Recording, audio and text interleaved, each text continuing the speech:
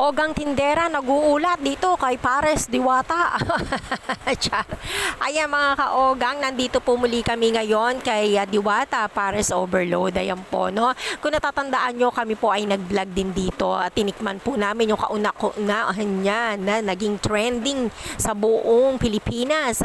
Pong ang, ang uh, uh, Pares Overload ni Diwata. Ano po? Ayan. So, bumisita kami ngayon. Tinignan namin kung meron pa rin pong Diwata Paris overload dito. Aba, talaga naman sanda makmak pa rin ng mga tao at kumakain at San ka pa, umuulan pa niyan ha. Wala na nga lang pila, pero makikita nyo talaga, nahataw pa rin si Diwata dito sa kanyang negosyo na to, no? At uh, kaya kami nagpunta ngayon dito, amin pong titikman yung kanamang kanya na pinagmamalaki na chicken log. Ano ba yun? Yung uh, uh, chicken niya ah, chicken at saka yung kanyang pork barbecue. So titikman natin or titignan natin kung talagang swak na swak lamang po ba sa budget yon na, na kainin para sa atin, no? Yung budget natin. So pinuntahan namin siya talaga at gusto kasi namin din makita si si Diwata in personal kung siya ba ay talagang uh, suplado o hindi, di po ba? Kasi yan po yun talaga nababalita natin. Ayan, nagbabayad na si Ogang Tindera nyo. So, ang nakuha ko po ay dalawang pieces na pork barbecue with free rice na po yan at saka po yung kanilang sabaw, no, na unlimited. Unlimited rice, unlimited soup at saka isang soft drinks. Ayan. At uh, yung isa naman po in order namin ay uh, chicken ni Diwata. Ayan po. Ayan, no, may kalakihan din po yung kanyang siken, ano. Ah, at mukhang uh, masarap dahil uh, sa mga oras na ito, gutom na kami. No? At ayan po yung kanyang Paris overload. Nakalagay na siya sa ganyan lalagyan.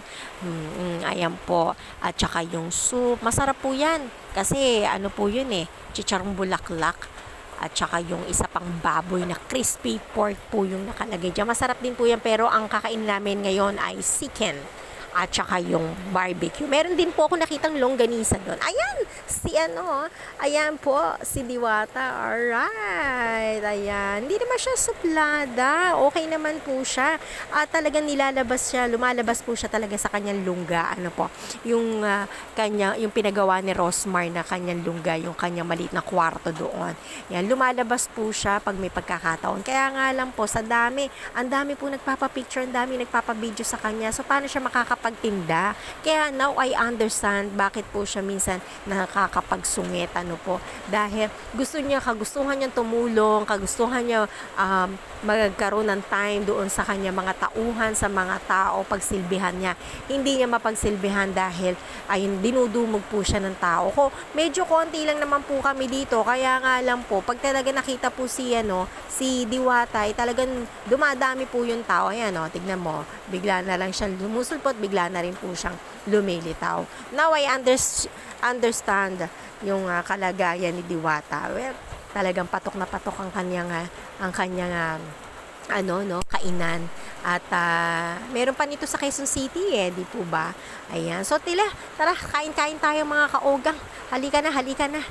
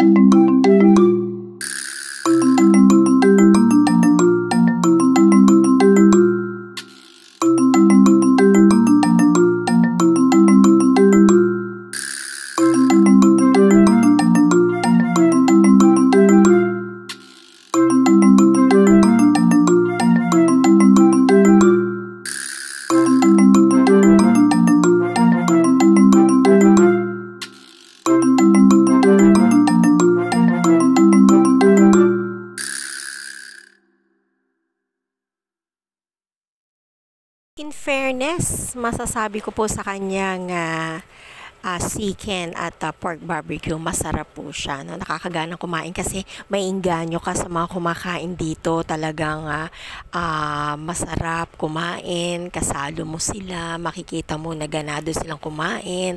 Ayan. At saka mapapansin mo, puro ano dito, ang mga kumakain, mga, ah, may mga dikotse, yan, oo. Totoo po yan mga kaugang.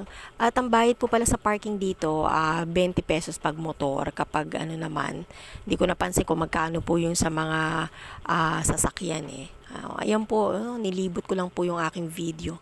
So talagang mafe-feel mo, masarap kumain dito pag dito ka talaga kakain. Pero pag tinake out mo, parang wala na yung ah, ano eh, yung excitement. So mas pinili ko dito kumain. Ayan, habang nagpapatila ng ulan. At saka may video okay pa sila, no? Free video okay, pwede kang kumanta.